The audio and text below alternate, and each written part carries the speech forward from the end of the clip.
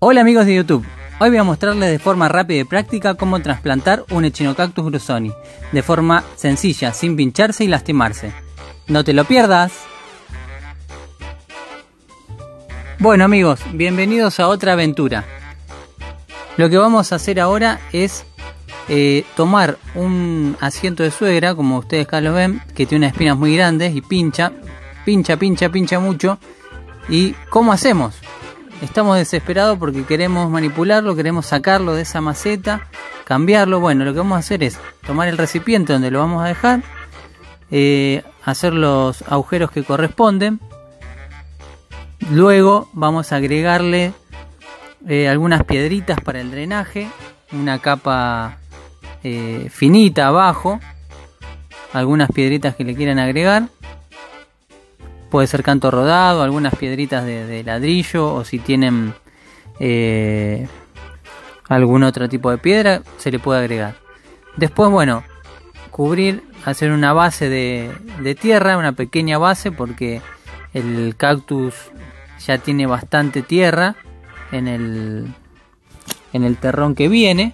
Así que lo que vamos a hacer es cortar toda la base con una trincheta o un cúter. Cortamos toda la base de la maceta plástica y después hacemos un tajo hacia arriba.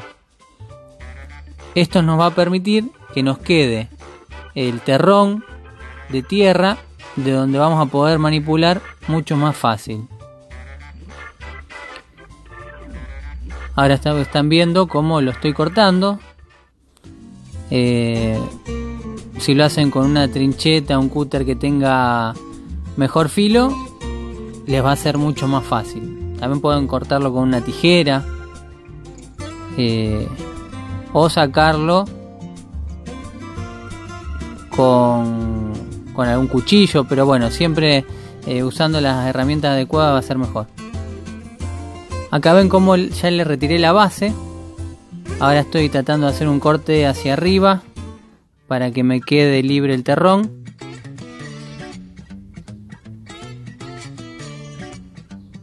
Ahí está empezando a cortar. Normalmente salen mucho más fácil. Solo que a mí se me había oxidado un poco la, la hoja de la trincheta. Entonces me quedó así.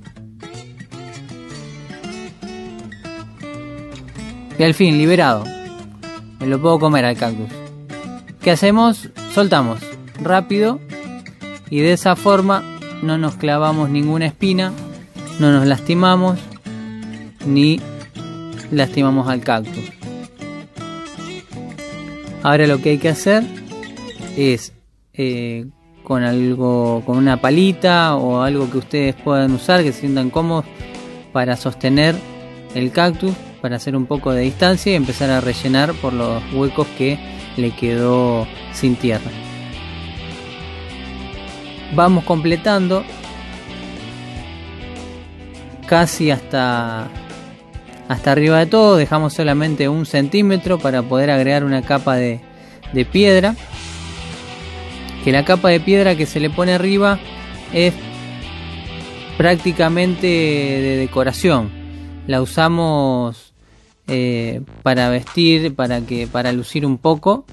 Eh, y bueno, sí tiene una funcionalidad que es que cuando uno va a regar el cactus o, llueve, al tener las piedritas no salpica directamente tierra hacia afuera, no salpica nada, entonces queda todo el entorno mucho más limpio.